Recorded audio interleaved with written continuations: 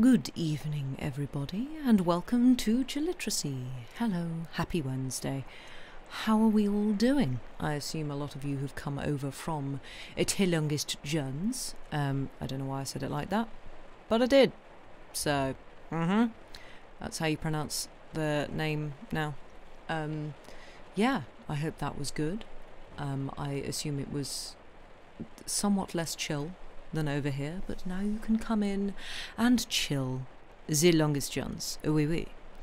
Um, yes, now you can come in and chill with me and some Charles Dickens tonight because we are carrying on with a tale of two cities. Doing good because of the singing stream? I am glad to hear it. Uh, who who am I saying hello to? I'm saying hello to per Andy Pants. Just subscribed for 12 months in a row. That's a whole year. Good lord. Thank you very much indeed, Andy. But yes, hello Lady Mephistopheles, hello Ray Tracer, hello Parola, and yes, hello Andy Pants, and also Sam. But Sam's probably not here right this instant because he's probably doing bins. Um, and a lovely year it's been. Well, I'm glad. Um, it has been lovely to have you here. That is indeed a year.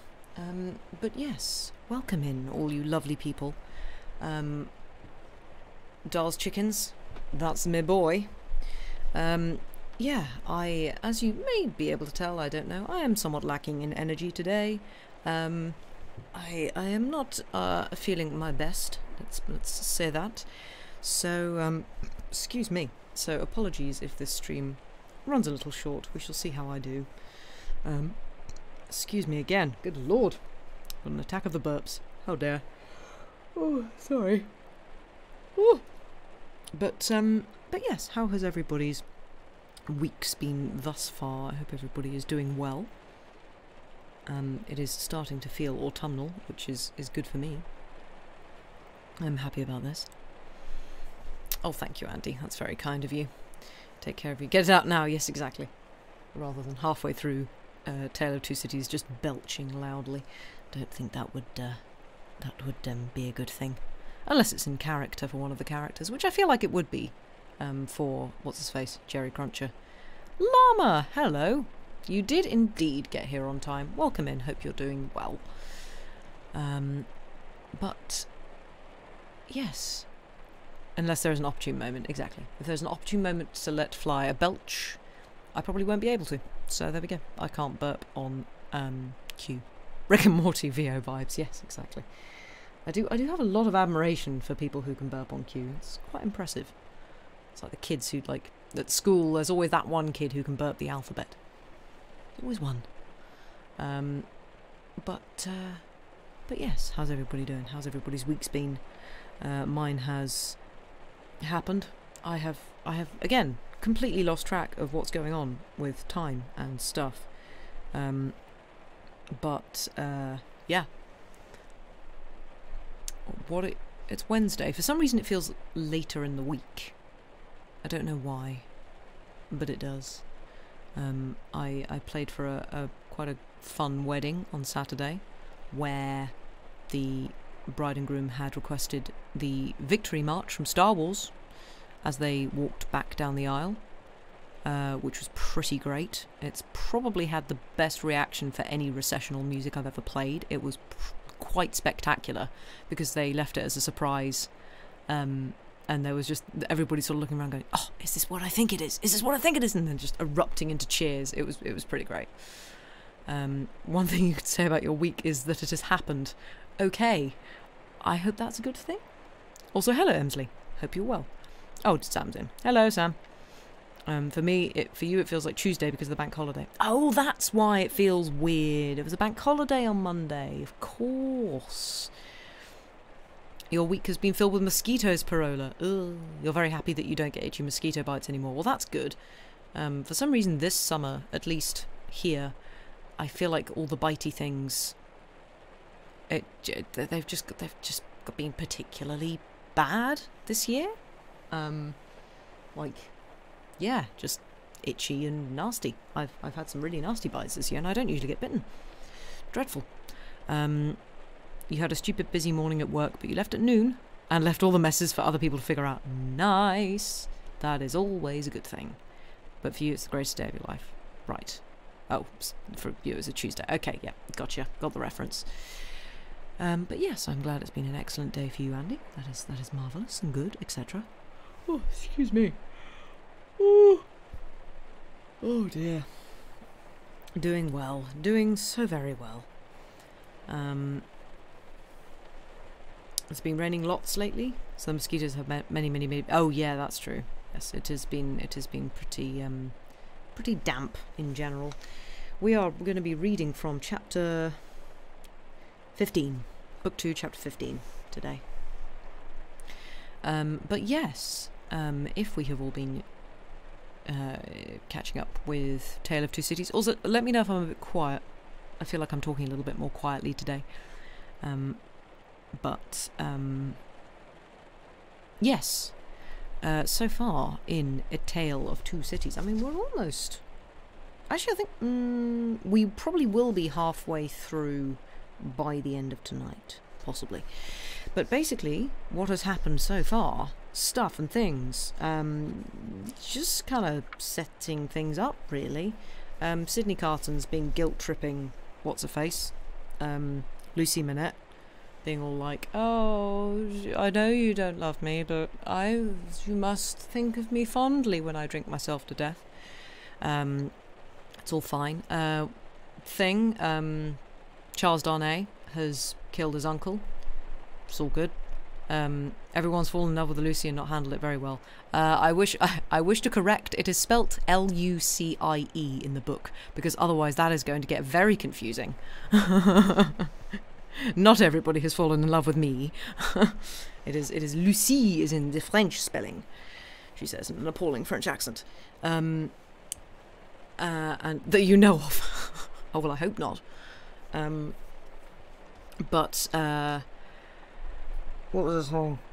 Uh, yes, um, she obviously likes Charles Darnay best. Kind of giving that vibe. Um, what else has been happening? Oh, what's his face? Stryver decided, the lawyer decided to, um, that he fancied his chances at proposing to her, but Mr. Lorry was like, yeah, maybe, maybe don't. Maybe, maybe don't.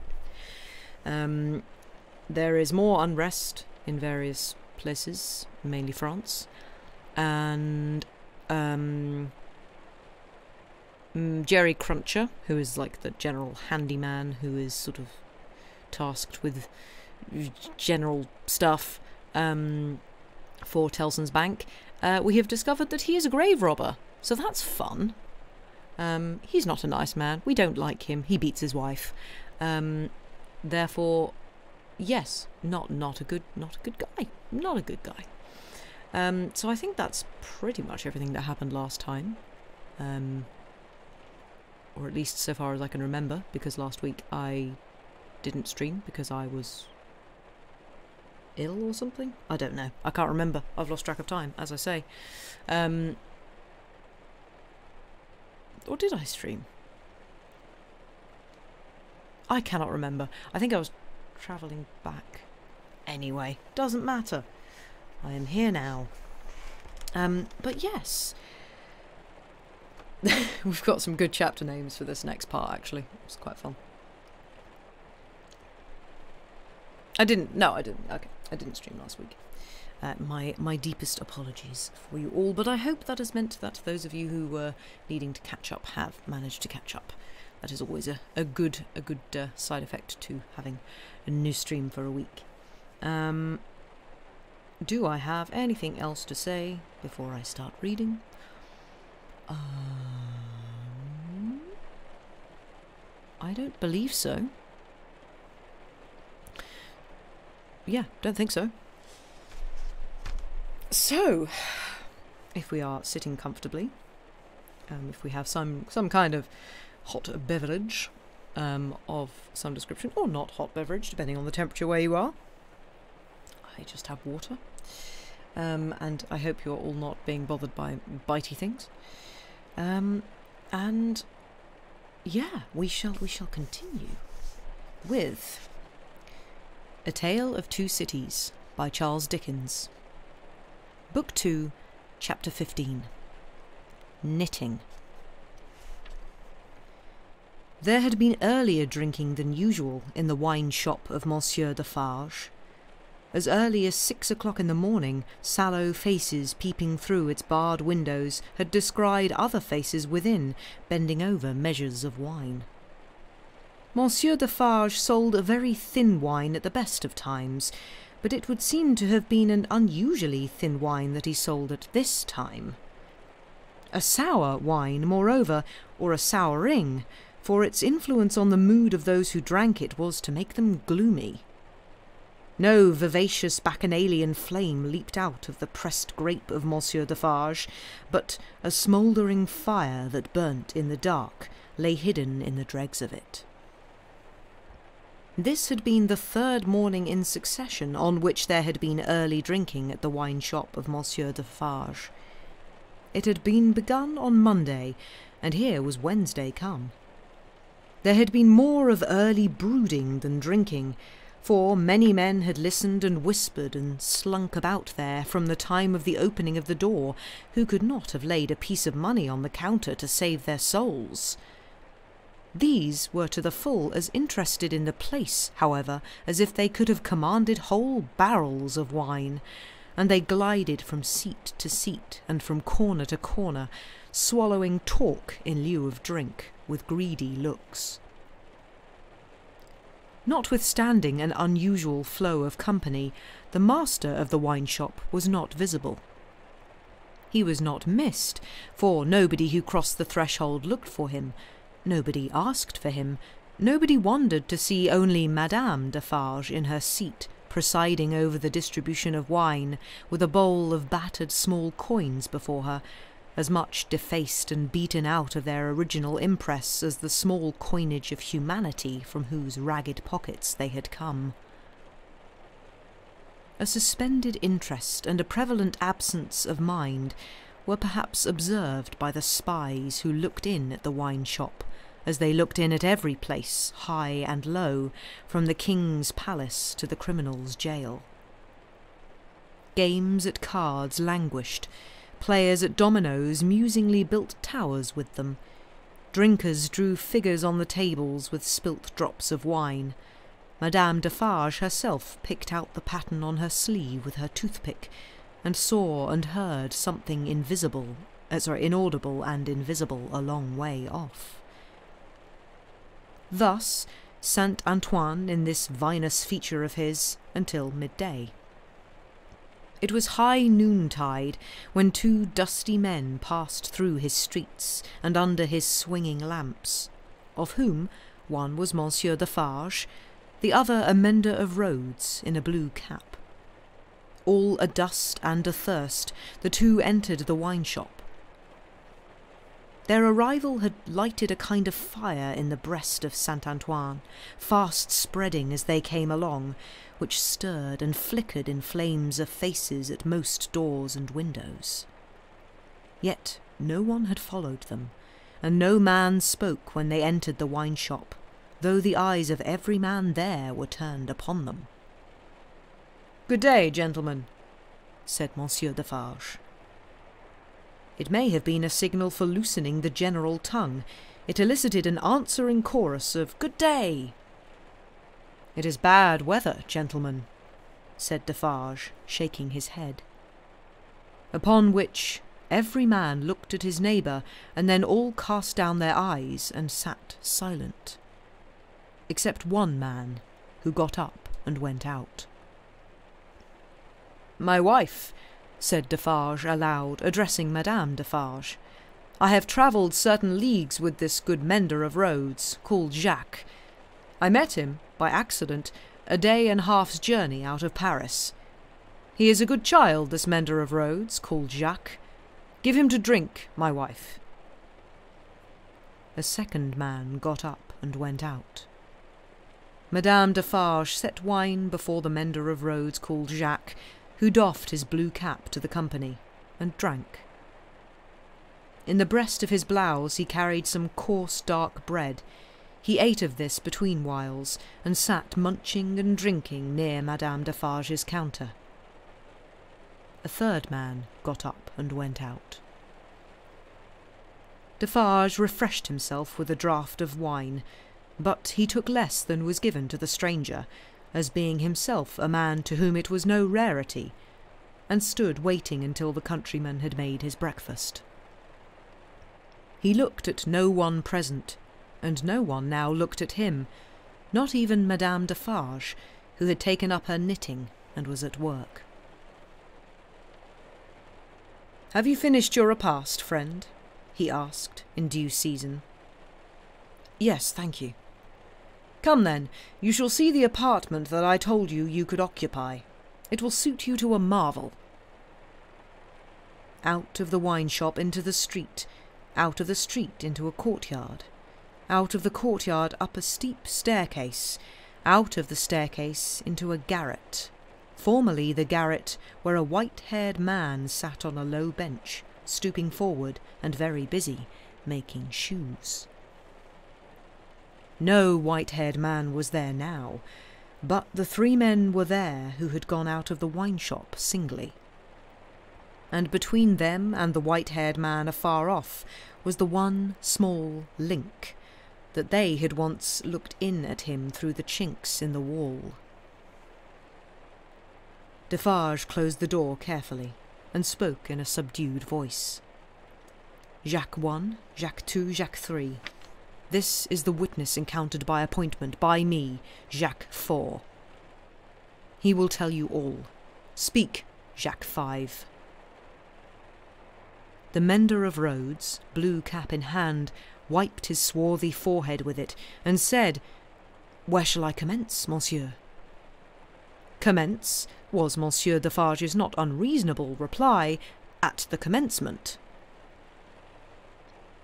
I saw him then, messieurs, began the mender of roads, a year ago this running summer, underneath the carriage of the Marquis, hanging by the chain.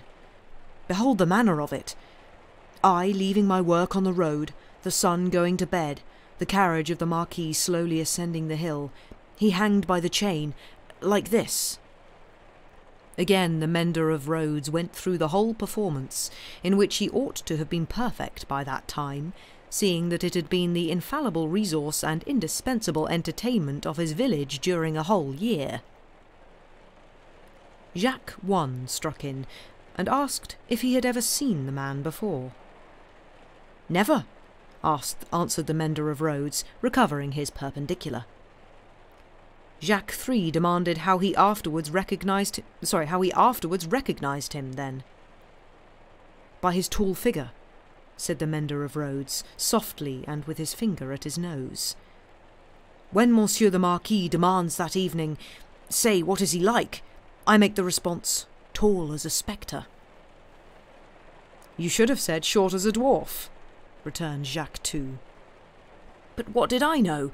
The deed was not then accomplished, neither did he confide in me. Observe, under those circumstances even, I do not offer my testimony. Monsieur the Marquis indicates me with his finger, standing near our little fountain, and says, To me, bring that rascal. My faith, messieurs, I offer nothing. He is right there, Jacques, murmured Defarge to him who had interrupted. Go on. Good said the mender of roads with an air of mystery. The tall man is lost, and he has sought how many months? Nine? Ten? No matter the number, said Defarge. He is well hidden, but at last he is unluckily found. Go on. I am again at work upon the hillside, and the sun is again about to go to bed. I am collecting my tools to descend to my cottage down in the village below, where it is already dark, when I raise my eyes and see coming over the hill six soldiers. In the midst of them is a tall man with his arms excuse me, with his arms bound, tied to his sides like this. With the aid of his indispensable cap, he represented a man with his elbows bound fast at his hips with cords that were knotted behind him. I stand aside, messieurs, by my heap of stones, to see the soldiers and their prisoner pass, for it is a solitary road, that where any spectacle is well worth looking at. And at first, as they approach, I see no more than that they are six soldiers with a tall man bound, and that they are almost black to my sight. except on the side of the sun going to bed, where they have a red edge, uh, messieurs. Also, I see that their long shadows are on the hollow ridge on the opposite side of the road, and are on the hill above it, and they are like the shadows of giants. Also, I see that they are covered with dust, and that the dust moves with them as they come, tramp, tramp.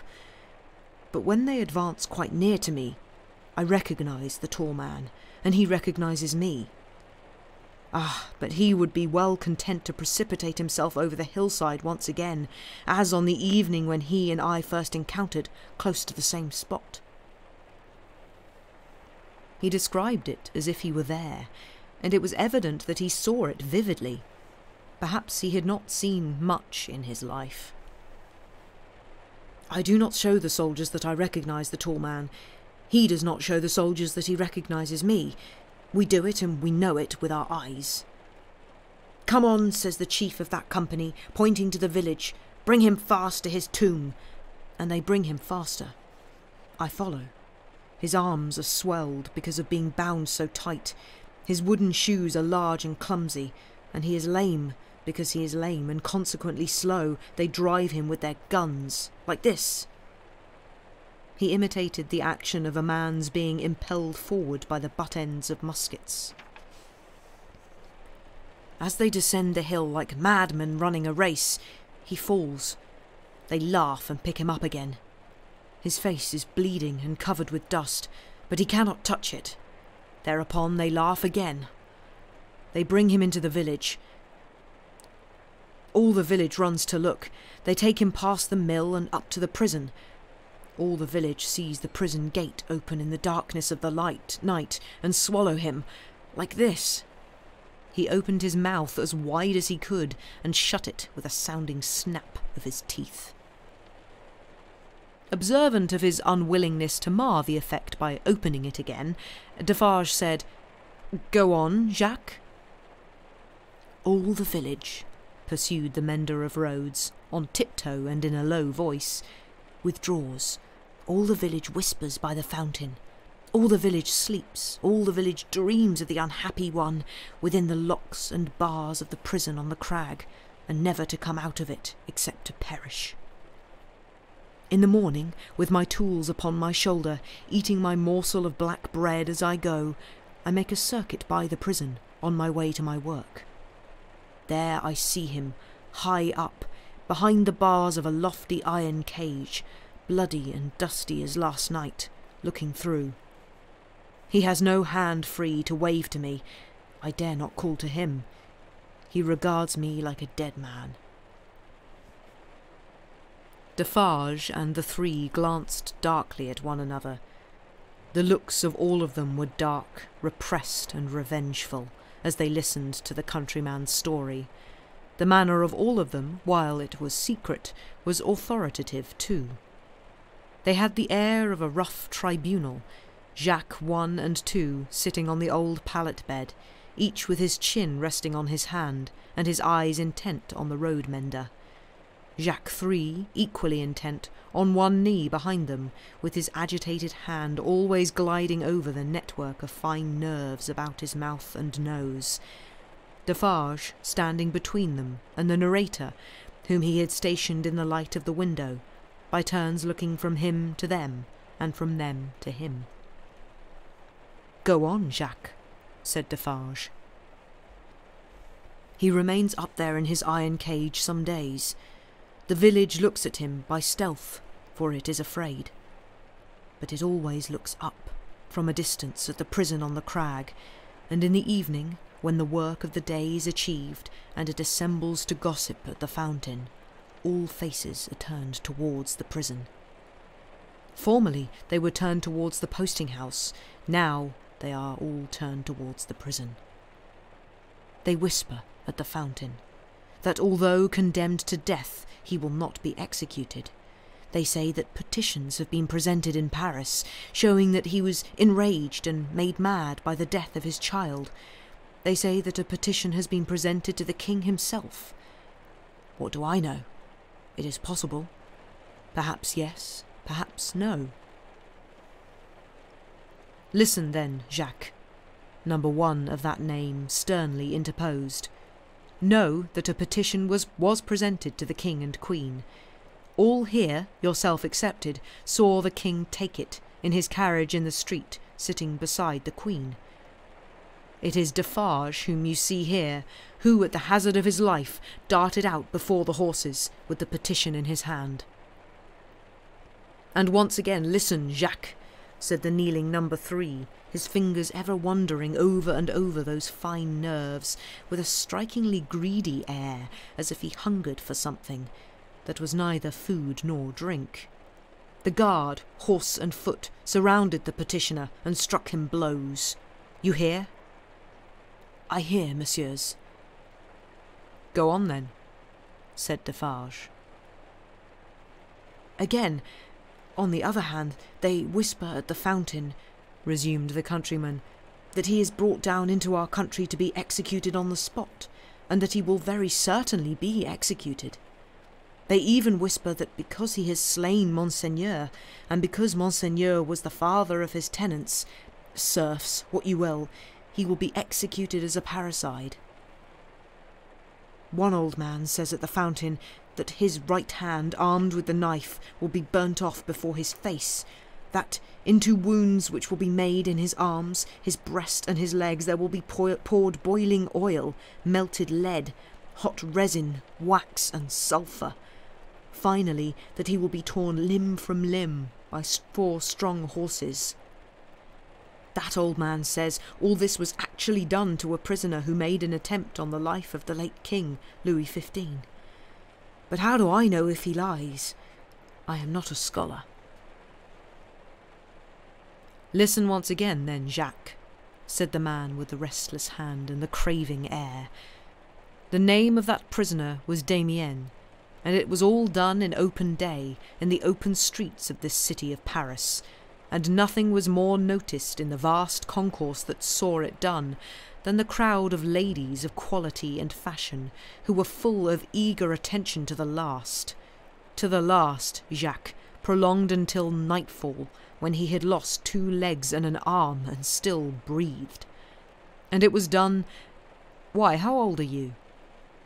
Thirty five, said the mender of roads, who looked sixty. It was done when you were more than ten years old. You might have seen it. Enough, said Defarge with grim impatience. Long live the devil. Go on. Well, some whisper this, some whisper that. They speak of nothing else. Even the fountain appears to fall to that tune. At length, on Sunday night, when all the village is asleep, come soldiers winding down from the prison, and their guns ring on the stones of the little street. Workmen dig, workmen hammer, Soldiers laugh and sing. In the morning, by the fountain, there is raised a gallows forty feet high, poisoning the water. The mender of roads looked through rather than at the low ceiling, and pointed as if he saw the gallows somewhere in the sky. All work is stopped. All assemble there. Nobody leads the cows out. The cows are there with the rest. At midday, the roll of drums. Soldiers have marched into the prison in the night, and he is in the midst of many soldiers. He is bound as before, and in his mouth there is a gag, tied so, with a tight string, making him look almost as if he laughed. He suggested it by creasing his face with his two thumbs, from the corners of his mouth to his ears. On the top of the gallows is fixed the knife, blade upwards, with its point in the air. He is hanged there forty feet high, and is left hanging, poisoning the water. They looked at one another as he used his blue cap to wipe his face, on which the perspiration had started afresh while he recalled the spectacle. It is frightful, messieurs, how can the women and the children draw water? Who can gossip of an evening under that shadow? Under it, have I said. When I left the village, Monday evening as the sun was going to bed, and looked back from the hill, The shadow struck across the church, across the mill, across the prison, seemed to strike across the earth, messieurs, to where the sky rests upon it. The hungry man gnawed one of his fingers as he looked at the other three, and his finger quivered with the craving that was on him. That's all, messieurs. I left at sunset, as I had been warned to do, and I walked on, that night and half next day, as until I met, as I was warned I should, this comrade. With him I came on, now riding and now walking, through the rest of yesterday and through last night. And here you see me. After a gloomy silence, the first Jacques said, Good. You have acted and recounted faithfully. Will you wait for us a little outside the door? Very willingly, said the mender of roads, whom Defarge escorted to the top of the stairs, and, leaving seated there, returned. The three had risen, and their heads were together when he came back when he came back to the garret. How say you, Jacques? demanded number one. To be registered? To be registered as doomed to destruction, returned Defarge. Magnificent, croaked the man with the craving. The chateau and all the race? inquired the first. The chateau and all the race, returned Defarge. Extermination. The hungry man repeated in a rapturous croak, Magnificent, and began gnawing another finger. Are you sure, asked Jacques Two of Defarge, that no embarrassment can arise from our manner of keeping the register? Without doubt it is safe, for no one beyond ourselves can decipher it. But shall we always be able to decipher it? Or, I ought to say, will she? Jacques, returned Defarge, drawing himself up. If Madame my wife undertook to keep the register in her memory alone, she would not lose a word of it, not a syllable of it. Knitted in her own stitches and her own symbols, it will always be as plain to her as the sun. Confide in Madame Defarge. It would be easier for the weakest poltroon that lives to erase himself from existence than to erase one letter of his name or crimes from the knitted register of Madame Defarge. There was a murmur of confidence and approval, and then the man who hungered asked, Is this rustic to be sent back soon? I hope so. He is very simple. Is he not a little dangerous? He knows nothing, said Defarge.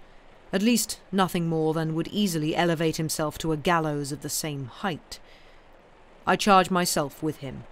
Let him remain with me. I will take care of him and set him on his road. He wishes to see the fine world, the king, the queen, and court. Let him see them on Sunday. What? exclaimed the hungry man, staring. Is it a good sign that he wishes to see royalty and nobility? Jacques, said Defarge, Judici- du- uh, judiciously show a cat milk if you wish her to thirst for it. Judiciously show a dog his natural prey if you wish him to bring it down. Bring it down one day.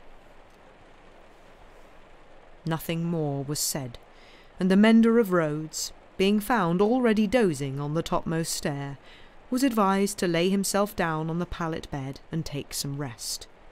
He needed no persuasion, and was soon asleep. Worse quarters than Defarge's wine shop could easily have been found in Paris for a provincial slave of that degree. Saving for a mysterious dread of Madame, by which he was constantly haunted, his life was very new and agreeable. But Madame sat all day at her counter, so expressly unconscious of him, and so particularly determined not to perceive that his being there had any connection with anything below the surface, that he shook in his wooden shoes whenever his eye lighted upon her. For he contended with himself that it was impossible to foresee what that lady might pretend next, and he felt assured that if she should take into her brightly ornamented head to pretend that she had seen him do a murder and afterwards flay the victim, she would infallibly go through with it until the play was played out. Therefore, when Sunday came, the mender of roads was not enchanted, though he said he was, to find that Madame was to accompany Monsieur and himself to Versailles. It was additionally disconcerting to have Madame knitting all the way there in a public conveyance. It was additionally disconcerting yet to have Madame in the crowd in the afternoon, still with her knitting in her hands, as the crowd waited to see the carriage of the King and Queen. You work hard, Madame, said a man near her. Yes, answered Madame Defarge.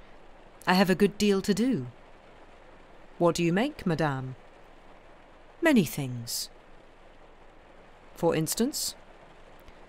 For instance, returned Madame Defarge composedly, shrouds.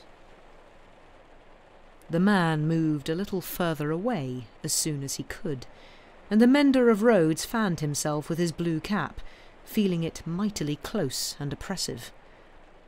If he needed a king and queen to restore him, he was fortunate in having his remedy at hand, for soon the large-faced king and the fair-faced queen came in their golden coach, attended by the shining bull's-eye of their court, a glittering multitude of laughing ladies and fine lords, and in jewels and silks and powder and splendour, and elegantly spurning figures, and handsomely disdainful faces of both sexes, the mender of roads bathed himself so much to his temporary intoxication that he cried, Long live the king, long live the queen, long live everybody and everything, as if he had never heard of ubiquitous Jack in his time.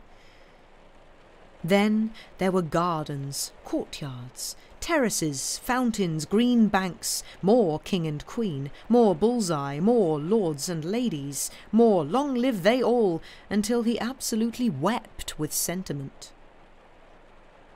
During the whole of this scene, which lasted some three hours, he had plenty of shouting and weeping and sentimental company, and throughout Defarge held him by the collar, as if to restrain him from flying at the objects of his brief devotion and tearing them to pieces.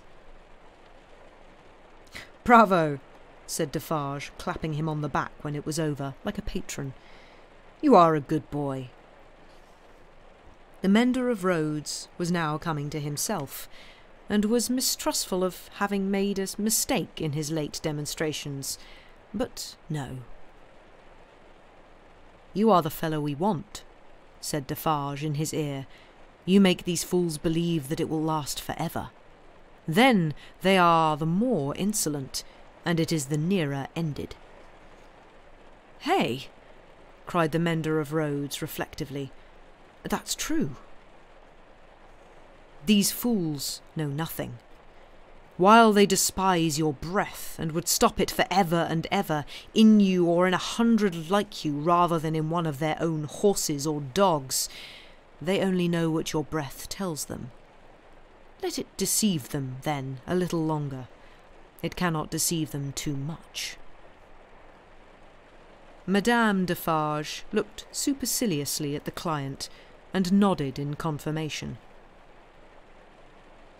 As to you, said she, you would shout and shed tears for anything, if it made a show and a noise. Say, would you not? Truly, madame, I think so, for the moment.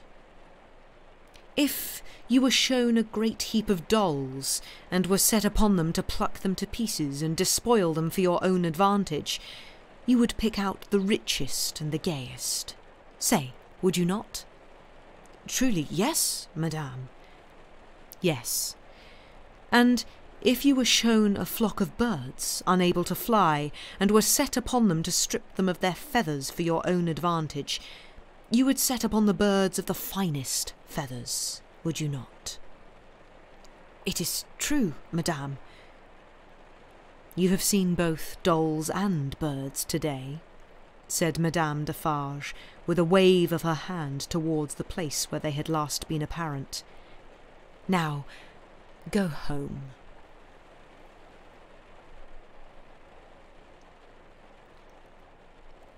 Chapter 16 Still Knitting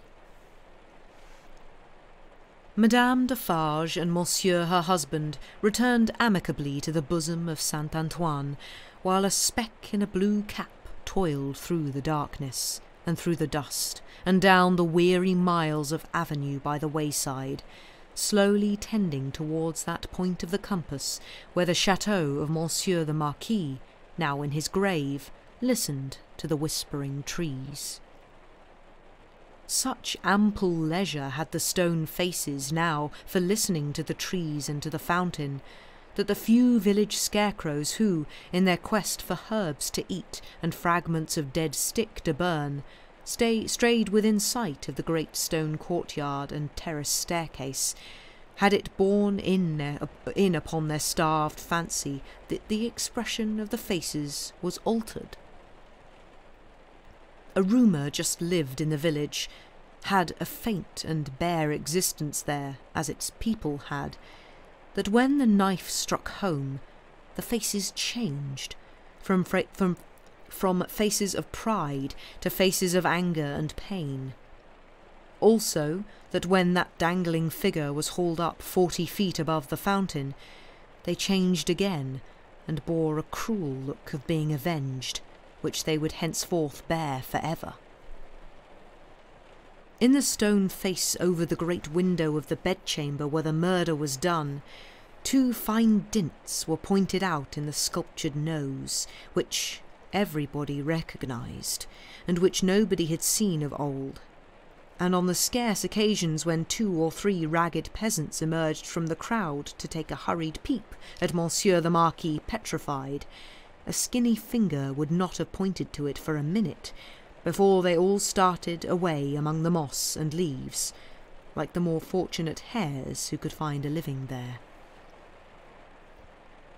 Chateau and hut, stone face and dangling figure, the red stain on the stone floor, and the pure water in the village well, thousands of acres of land, a whole province of France, all France itself, lay under the night sky, concentrated into a faint hair-breadth line.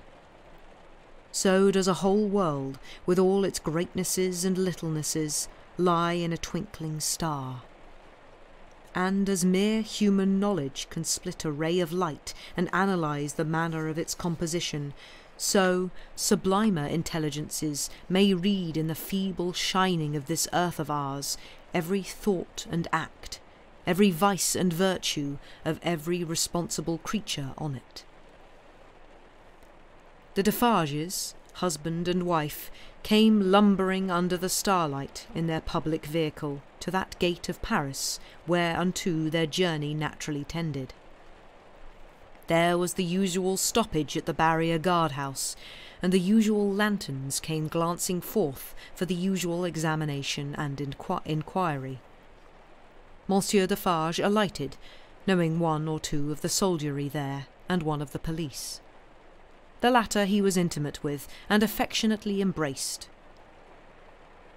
When Saint Antoine had again enfolded the Defarges in his dusky wings, and they, having finally alighted near the saint's boundaries, were picking their way on foot through the black mud and offal of his streets. Madame Defarge spoke to her husband. Say then, my friend, what did Jacques of the police tell thee? Very little tonight, but all he knows. There is another spy commissioned for our quarter. There may be many more, for all that he can say, but he knows of one. Heh, well, said Madame Defarge, raising her eyebrows with a cool business air. Is it necess- it is necessary to register him. How do they call that man? He is English. So much the better. His name? Barsad, said Defarge, making it French by pronunciation. but he had been so careful to get it accurately that he then spelt it with perfect correctness. Barsad, repeated Madame. Good. Christian name? John. John Barsad, repeated Madame, after murmuring it once to herself. Good. His appearance, is it known? Age about forty years, height about five foot nine, black hair, complexion dark, generally rather handsome visage, eyes dark, face thin, long, and sallow, nose aquiline but not straight, having a peculiar inclination towards the left cheek, expression, therefore, sinister. Eh, my faith, it is a portrait, said Madame, laughing. He shall be registered tomorrow. They turned into the wine shop, which was closed, for it was midnight, and where Madame Defarge immediately took her post at her desk, counting the small moneys that had been taken during her absence, examined the stock, went through the entries in the book, made other entries of her own, checked the serving man in every possible way, and finally dismissed him to bed. Then she turned out the contents of the bowl of money for the second time, and began knotting them up in her handkerchief in a chain of separate knots for safe keeping through the night. All this while, Defarge, with his pipe in his mouth, walked up and down, complacently admiring, but never interfering, in which condition, indeed, as to the business and his domestic affairs, he walked up and down through life. The night was hot, and the shop, close shut and surrounded by so foul a neighbourhood, was ill smelling.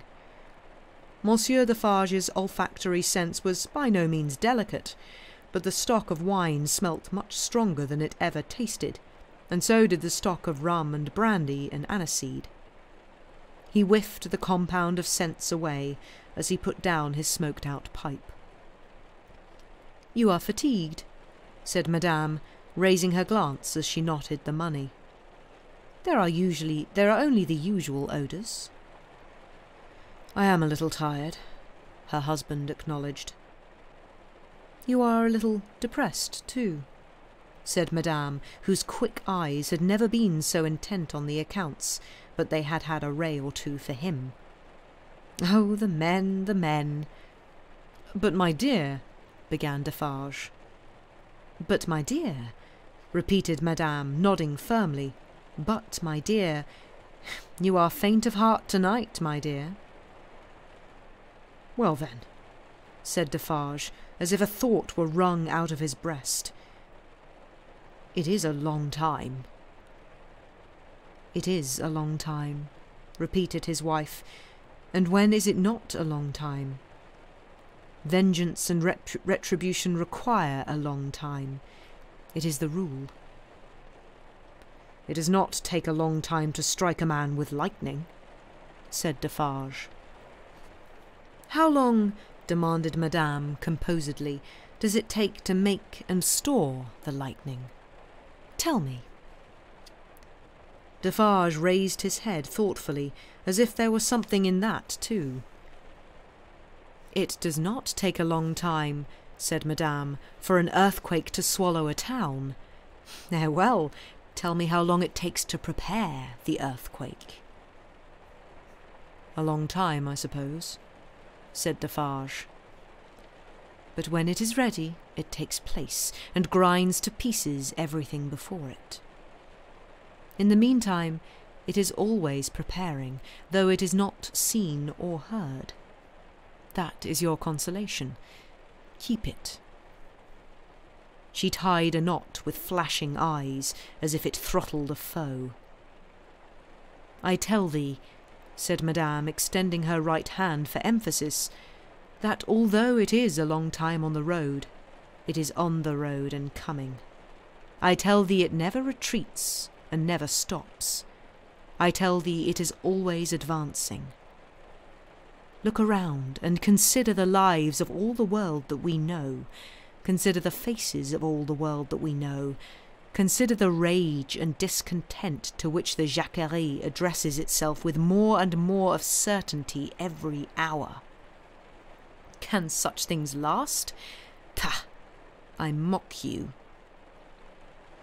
My brave wife, returned Defarge, standing before her with his head a little bent and his hands clasped at his back, like a docile and attentive pupil before his catechist. I do not question all this, but it has lasted a long time, and it is possible. You know well, my wife, it is possible that it may not come during our lives. Eh, well, how then? Demanded Madame, tying another lot, a knot, as if there were another enemy strangled. Well, said Defarge, with a half complaining and half apologetic shrug, we shall not see the triumph. We shall have helped it, returned Madame, with her extended hand in strong action. Nothing that we do is done in vain. I believe with all my soul that we shall see the triumph.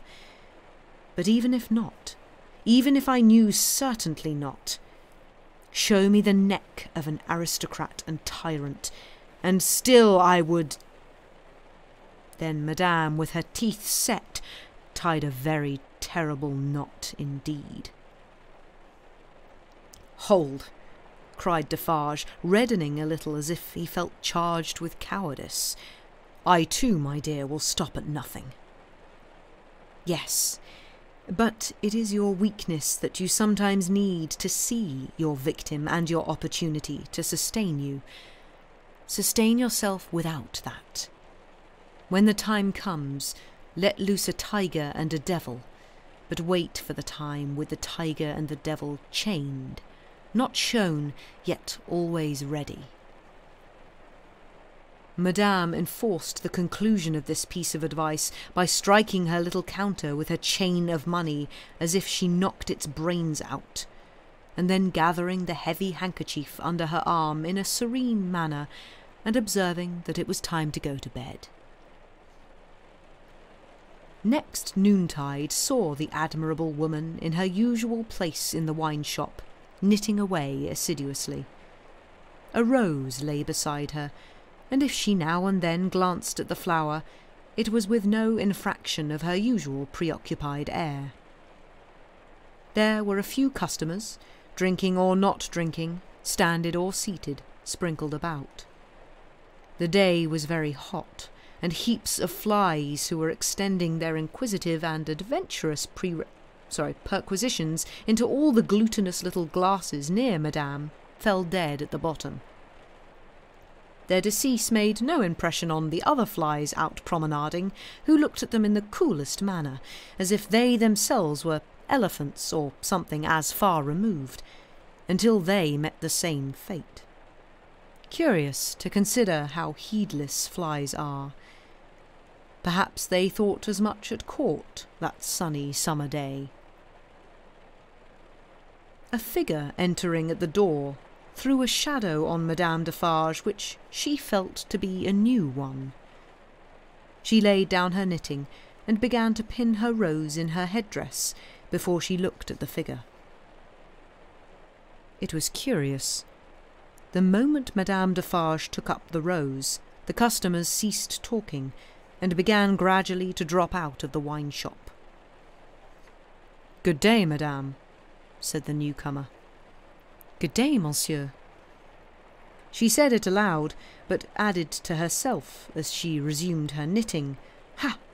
Good day, age about forty, height about five feet nine, black hair, generally rather handsome visage, complexion, complexion dark, eyes dark, thin, long and sallow face, aquiline nose but not straight, having a peculiar inclination towards the left cheek which imparts a sinister expression. Good day, one and all. Have the goodness to give me a little glass of old cognac and a mouthful of cool fresh water, madame. Madame complied with a polite air. Marvellous cognac, this, madame. It was the first time it had ever been so complimented, and Madame Defarge knew enough of its antecedents to know better. She said, however, that the cognac was flattered, and took up her knitting. The visitor watched her fingers for a few moments and took the opportunity of observing the place in general. You knit with great skill, madame. I am accustomed to it.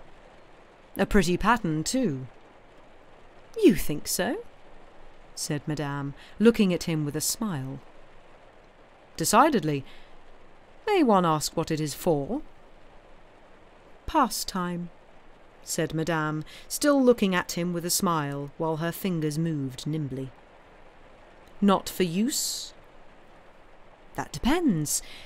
I may find a use for it one day. If I do, well, said Madame, drawing a breath and nodding her head with a stern kind of coquetry. I'll use it. It was remarkable, but the taste of Saint Antoine seemed to be decidedly opposed to a rose on the headdress of Madame Defarge.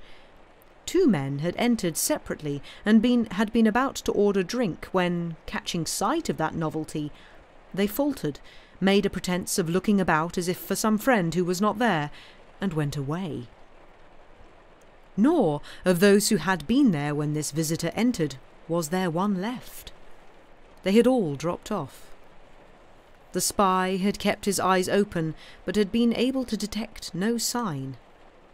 They had lounged away in a poverty stricken, purposeless, accidental manner, quite natural and unimpeachable. John, thought Madame, checking off her work as her fingers knitted and her eyes looked at the stranger. Stay long enough and I shall knit Barsad before you go. You have a husband, Madame? I have. Children? No children. Business seems bad. Business is very bad. The people are so poor. Ah, the unfortunate, miserable people. So oppressed, too, as you say. As you say, Madame retorted, correcting him and deftly knitting an extra something into his name that boded him no good. Pardon me, certainly it was I who said so, but you naturally think so, of course. I think? returned Madame in a high voice, I and my husband have enough to do to keep this wine shop open without thinking. All we think here is how to live. That is the subject we think of, and it gives us from morning to night enough to think about without embarrassing our heads concerning others. I think for others? no, no. The spy, who was there to pick up any crumbs he could find or make, did not allow his baffled state to express itself in his sinister face, but stood with an air gossiping gallantry, leaning his elbow on Madame Defarge's little counter, and occasionally sipping his cognac. A bad business this, Madame, of Gaspard's execution. Ah, the poor Gaspard! With a sigh of great compassion. My faith, returned Madame, coolly and lightly, if people use knives for such purposes, they have to pay for it. He knew beforehand what the price of his luxury was. He has paid the price. I believe, said the spy, dropping his soft voice to a tone that invited confidence, and expressing an injured revolutionary susceptibility in every muscle of his wicked face. I believe there is much compassion and anger in this neighbourhood touching the poor fellow, between ourselves. Is there? asked Madame vacantly. Is there not? Ah, here is my husband, said Madame Defarge. As the keeper of the wine shop entered at the door, the spy saluted him by touching his hat and saying with an engaging smile, Good day, Jacques. Defarge stopped short and stared at him. Good day, Jacques, the spy repeated, with not quite so much confidence, or quite so easy a smile under the stare. Uh, you deceive yourself, monsieur, returned the keeper of the wine shop. You mistake me for another. That is not my name. I am Ernest Defarge. It is all the same, said the spy airily, but discomfited too. Good day. Good day, answered Defarge dryly. I was saying to Madame, with whom I had the pleasure of chatting when you entered, that they tell me there is, and no wonder, much sympathy and anger in Saint Antoine touching the unhappy fate of poor Gaspard. No one has told me so, said Defarge, shaking his head. I know nothing of it.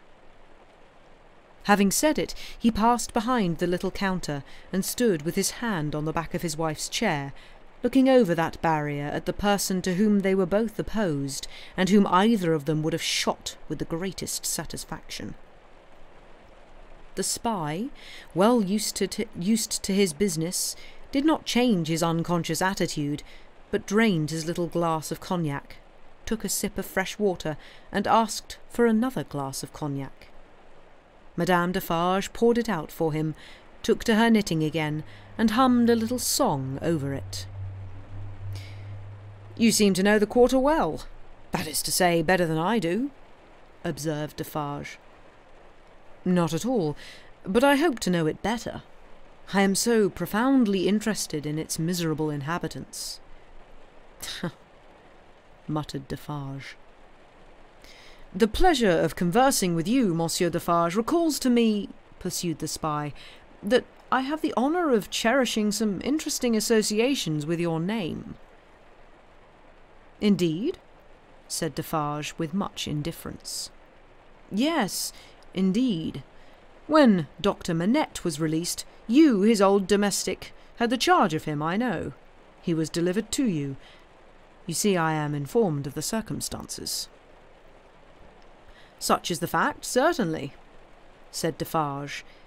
He had had it conveyed to him in an accidental touch of his wife's elbow as she knitted and warbled, that he would do best to answer, but always with brevity.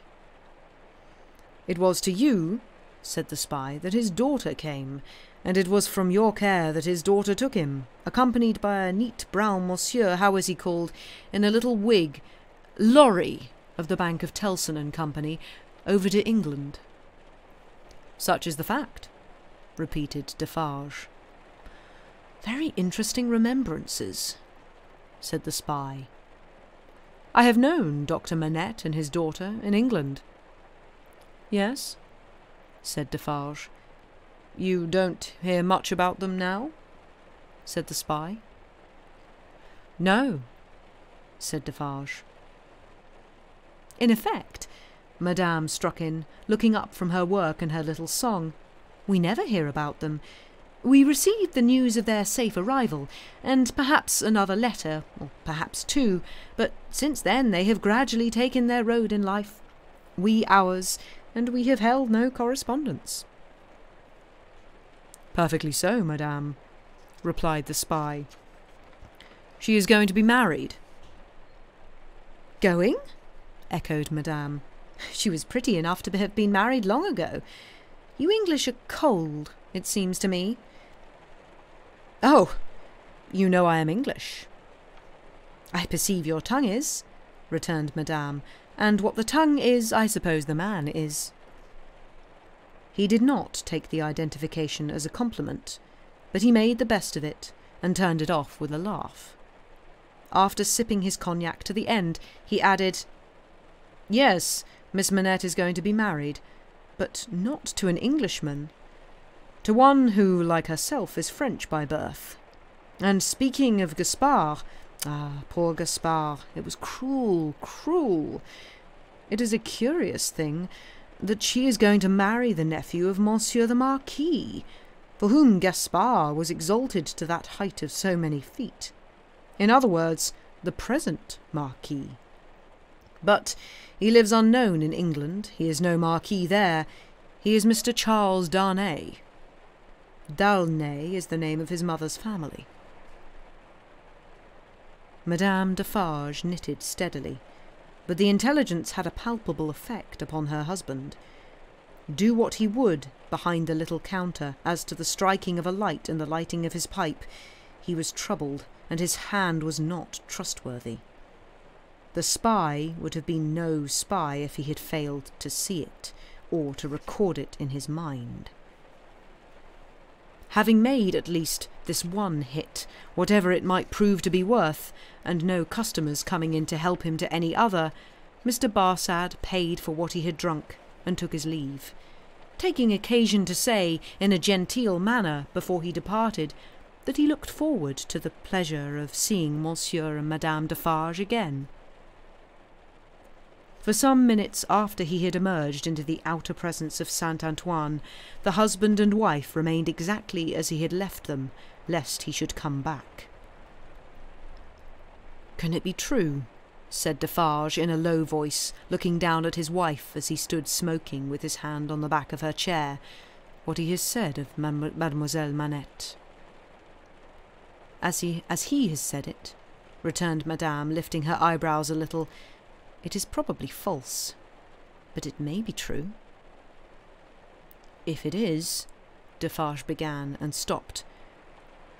If it is? repeated his wife. And if it does come while we live to see it triumph, I hope for her sake Destiny will keep her husband out of France. Her husband's destiny, said Madame Defarge with her usual composure, will take him where he is to go, and will lead him to the end that is to end him. That is all I know. But it is very strange. Now, at least, is it not very strange? said Defarge, rather pleading with his wife to induce her to admit it, that after all our sympathy for Monsieur her father and herself, her husband's name should be proscribed under your hand at this moment, by the inside by the side of that infernal dogs who has just left us. Stranger things than that will happen when it does come, answered Madame. I have them both here of a certainty, and they are both here for their merits. That is enough. She rolled up her knitting when she had said those words, and presently took the rose out of the handkerchief that was wound about her head. Either Saint Antoine had an instinctive sense that the objectionable decoration was gone, or Saint Antoine was on the watch for its disappearance. Howbeit, the saint took courage to lounge in very shortly afterwards, and the wine shop recovered its habitual aspect.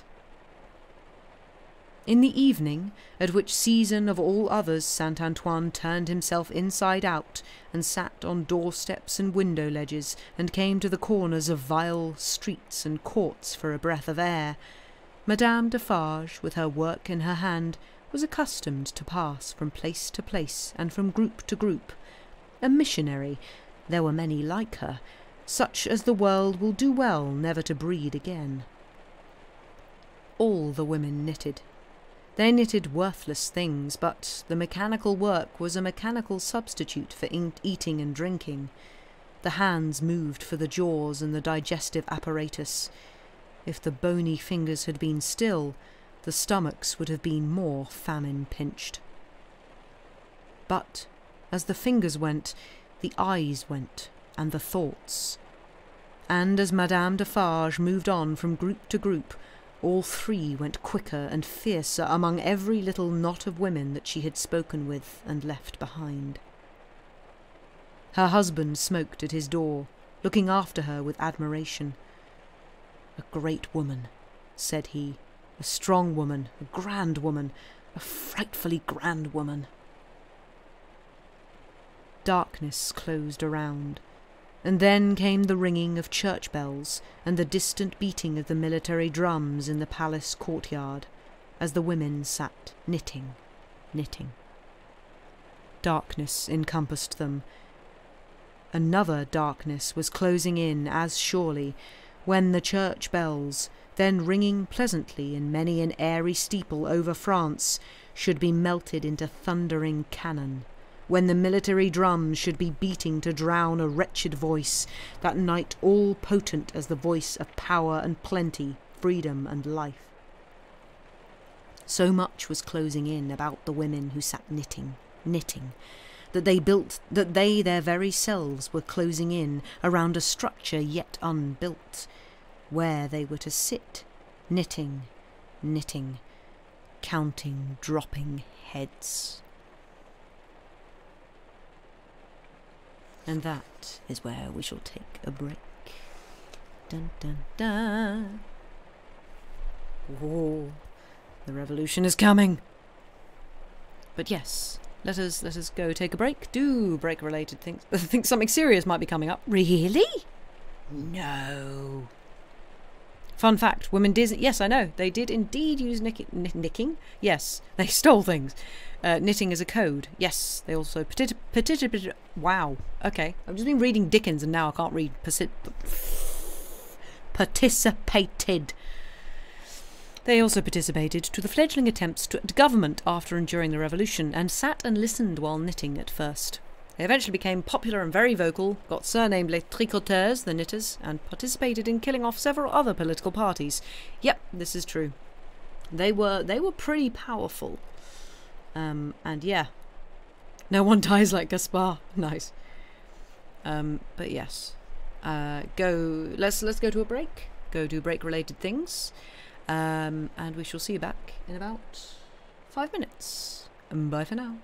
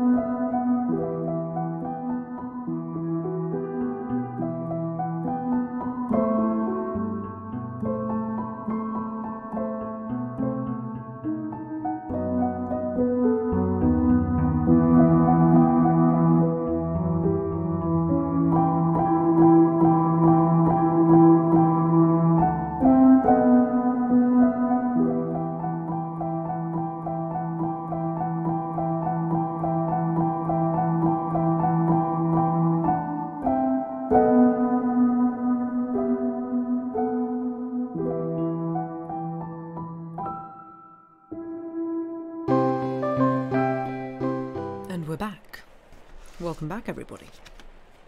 I hope we are doing well. I hope we have had a good break. Dog has put her head on your lap. You are now immobilized forever. Oh no! Cannot move if dog or cat is sitting on you. Them's the rules. I didn't make them. Um, but yes, I hope everybody has had a good break. I hope everybody's feeling somewhat revolutionary. Um, because that's nighttime cereal. Nice. My brother, my brother is is one of those people who always has cereal basically every time of the day. Um, so you haven't moved an inch. nice. Well, that's a perfectly decent way to spend the break.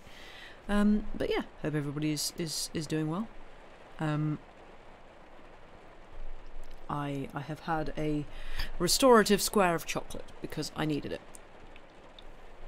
Um, have not made a tea because it's actually quite warm in my room at the moment and yeah stuff things ah my brain is just chocolate is indeed the best medicine it it is it is the best it is very good but as you can probably tell from my voice i'm a little bit croaky so I might do one chapter, which is very short. I might do two chapters, which are all. I mean, both of these chapters are very short. So we shall see. You want chocolate now, but dog. Ah, sad times. Chocolate and dog do not necessarily go very well together. Um, we are now on chapter 17, book 2, chapter 17, if Sam is around to do stuff and things. Not that that matters too much, because I imagine you can just scroll down on the current pinned thing, but eh. Um, but yes, uh, we we we have we have revolution in the air. We have spies and exciting things. So, chapter 17 it was, yes. But, I should take a sip of my water. Really need to stop doing the bad French accent. I mean, I guess it's thematic for this book, but I need to stop. Um, but yes, let us continue. if we're all sitting comfortably have a drink, have a whatever.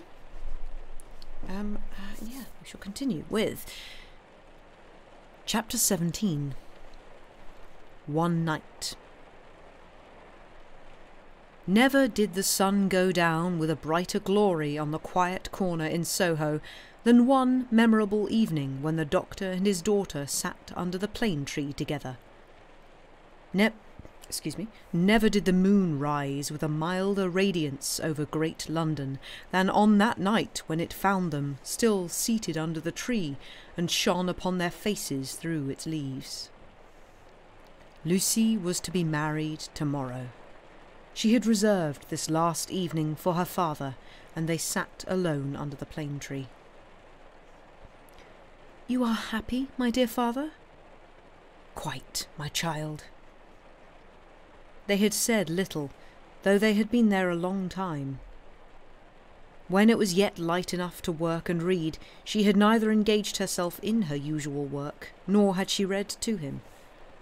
She had employed herself in both ways at his side under the tree many and many a time, but this time was not quite like any other, and nothing could make it so. And I am very happy tonight, dear father. I am deeply happy in the love that heaven has so blessed, my love for Charles and Charles's love for me. But if my life were not to be still consecrated to you, or if my marriage were so arranged as that it would part us, even by the length of a few of these streets, I should be more unhappy and self-reproachful now that I can tell you. Even as it is, even as it was, she could not command her voice. In the sad moonlight, she clasped him by the neck and laid her face upon his breast. In the moonlight, which is always sad, as the light of the sun itself is, as the light called human life is, at its coming and its going. Dearest dear, can you tell me this last time that you feel quite, quite sure no new affections of mine and no new duties of mine will ever interpose between us. I know it well, but do you know it? In your own heart, do you feel quite certain? her father answered with a cheerful firmness of conviction he could scarcely have assumed. Quite sure, my darling. More than that, he added as he tenderly kissed her. My future is far brighter, Lucie, seen through your marriage than it could have been, nay, than ever it was without it. If I could hope that, my father. Believe it, love, indeed it is so. Consider how natural and plain it is, my dear, that it should be so. You, devoted and young, cannot fully appreciate the anxiety I have felt that your life should not be wasted. She moved her hand towards his lips, but he took it in his and repeated the word. Wasted, my child, should not be wasted, struck aside from the natural order of things, for my sake. Your unselfishness cannot entirely comprehend how much my mind has gone on this, but only ask yourself how could my happiness be perfect while yours was incomplete? If I had never seen Charles, my father, I should have been quite happy with you. He smiled at her unconscious admission that she would have been unhappy without Charles having seen him, and replied, My child, you did see him, and it is Charles. If it had not been Charles, it would have been another. Or, if it had been no other, I should have been the cause and then the dark part of my life would have cast its shadow beyond myself and would have fallen on you. It was the first time, except at the trial, of her ever hearing him refer to this period of his suffering. It gave her a strange and new sensation while his words were in her ears, and she remembered it long afterwards. See, said the doctor of Beauvais, raising his hand towards the moon. I have looked at her from my prison window when I could not bear her light. I have looked at her when it has been such torture to me to think of her shining upon what I had lost that I have beaten my head against my prison walls. I have looked at her in a state so dull and lethargic that I have thought of nothing but the number of horizontal lines I could draw across her at the full, and the number of perpendicular lines with which I could intersect them. He added in his inward and pondering manner as he looked at the moon, It was twenty either way, I remember, and the twentieth was difficult to squeeze in. The strange thrill with which she heard him go back to that time deepened as he dwelt upon it, but there was nothing to shock her in the manner of his reference. He only seemed to contrast his present cheerfulness and felicity with the dire endurance that was over. I have looked at her, speculating thousands of times upon the unborn child from whom I had been rent, whether it was alive, whether it had been born alive or the poor mother's shock had killed it whether it was a son who would some day avenge his father. There was a time in my imprisonment when my desire for vengeance was unbearable. Whether it was a son who would never know his father's story, who might even live to weigh the possibility of his father's having disappeared of his own will and act. Whether it was a daughter who would grow to be a woman. She drew closer to him and kissed his cheek and his hand. I have pictured my daughter to myself as perfectly forgetful of me, or rather altogether ignorant of me and unconscious of me. I have cast up the years of her age, year after year. I have seen her married to a man who knew nothing of my fate. I have altogether perished from the remembrance of the living, and in the next generation my place was a blank. My father, even to hear that you had, had you had such thoughts of a daughter who never existed strikes to my heart as if I had been that child. You, Lucie? It is out of the consolation and restoration you have brought to me that these remembrances arise and pass between us and the moon on this last night. What did I say just now? She knew nothing of you, she cared nothing for you. So. But on other moonlit nights, when the sadness and the silence have touched me in a different way, have affected me with something as like a sorrowful sense of peace as any emotion that had pain for its foundations could. I have imagined her as coming to me in my cell and leading me out into the freedom beyond the fortress. I have seen her image in the moonlight often, as I now see you, except that I never held her in my arms. It stood between that little grated window and the door. But you understand that that was not the child I am speaking of. The, the figure was not, the, the image, the fancy. No, that was another thing. It stood before my disturbed, disturbed sense of sight, but it never moved.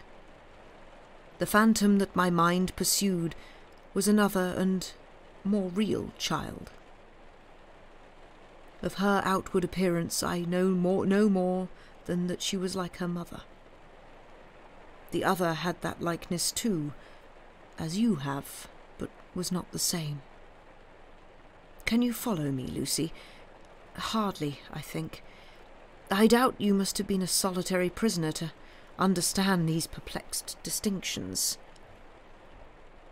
His collected and calm manner could not prevent her blood from running cold as he thus tried to anatomize his old condition. In that more peaceful state, I have imagined her in the moonlight coming to me and taking me out to show me that the home of her married life was full of her loving remembrance of her lost father. My picture was in her room, and I was in her prayers. Her life was active, cheerful, useful, but my poor history pervaded it all. I was that child, my father. I was not half so good, but in my love that was I. And she showed me her children, said the doctor of Beauvais, and they had heard of me, and had been taught to pity me. When they passed a prison of the state, they kept far from its frowning walls, and looked up at its bars and spoke in whispers. She could never deliver me. I imagined that she always brought me back after showing me such things. But then, blessed with the relief of tears, I fell upon my knees and blessed her. I am that child, I hope, my father. Oh, my dear, my dear, will you bless me as fervently tomorrow? Lucie, I recall these old troubles in the reason that I have tonight for loving you better than words can tell, and thanking God for my great happiness. My thoughts, when they were wildest, never rose near the happiness that I have known with you, and that we have before us. He embraced her, solemnly commended her to heaven, and humbly thanked heaven for having bestowed her on him. By and by they went into the house. There was no one bidden to the marriage but Mr. Lorry. There was even to be no bridesmaid but the gaunt Miss Pross. The marriage was to make no change in their place of residence. They had been able to extend it by taking to themselves the upper rooms formerly belonging to the apocryphal invis invisible lodger, and they desired nothing more. Dr. Manette was very cheerful at the little supper. There were only three at table, and Miss Pross made the third. He regretted that Charles was not there, was more than half disposed to object to the loving little plot that kept him away, and drank to him affectionately. So the time came for him to bid Lucie good night, and they separated. But in the stillness of the third hour of the morning, Lucie came downstairs again and stole into his room, not free from unshaped fears beforehand. All things, however, were in their places. All was quiet, and he lay asleep, his white hair picturesque on the untroubled pillow, and his hands lying quiet on the coverlet. She put her needle sorry, she put her needless candle in the shadow at a distance, crept up to his bed and put her lips to his, then leaned over him and looked at him. Into his handsome face the bitter waters of captiv- captivity had worn, but he covered up their tracks with a determination so strong that he held the mastery of them even in his sleep. A more remarkable face in its quiet, resolute, and guarded struggle with an unseen assailant was not to be beheld in all the wide dominions of sleep that night. She timidly laid her hand on his dear breast and put up a prayer that she might ever be as true to him as her love aspired to be and as his sorrows deserved. Then she withdrew her hand and kissed his lips once more and went away. So the sunrise came, and the shadows of the leaves of the plane tree moved upon his face as softly as her lips had moved in praying for him.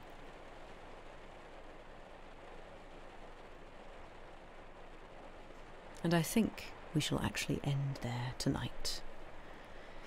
Thank you for listening, because I am very tired.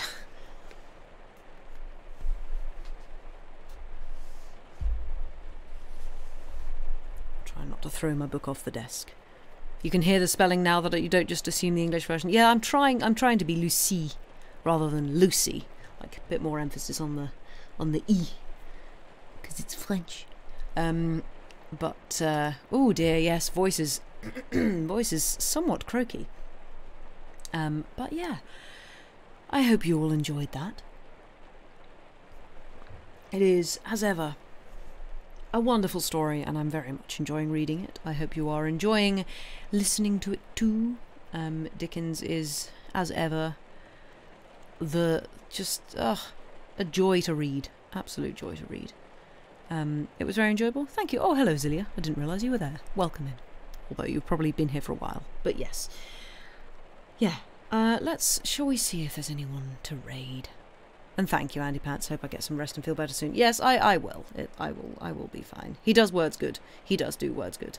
You lurk, lurk away. Lurking is always good and fine and wonderful. Um, but yeah, I guess we can we can hop on over to Stephen. Um, got Stephen, we've got Cam. Oh, we can do Cam. Um, because also there's also um Bowie here live for the first time in a while. Um, I don't know, Sam. Do you have a preference, Stephen or Cam? You can make a decision because my brain has gone walkies and no, cannot cannot make decisions right now. Can't can't do it. Not happening. Um. Oh, excuse me. Stephen? Yeah, why not? We'll we'll we'll be creatures of habit. So um, yes, thank you all very much for being here, all you wonderful, lovely people. Um, we should be back on Saturday, hopefully, with some. Oh, you use the raid. All right, fine. oh, I used unraid. I didn't click anything. Hang on, I'll do it. I'll I'll do the raid. That was weird. Boop. Um, I hadn't unraid. I hadn't clicked anything. Um, but yes, we should be back on Saturday for some more stuff. Not entirely sure what. Uh, Sam will might say, might not. Who knows? But yes, go have a good rest of your weeks, week, whatever, and be lovely people. And you're all wonderful. Thank you very much for being here, and we shall see you here again soon. Thank you and good night.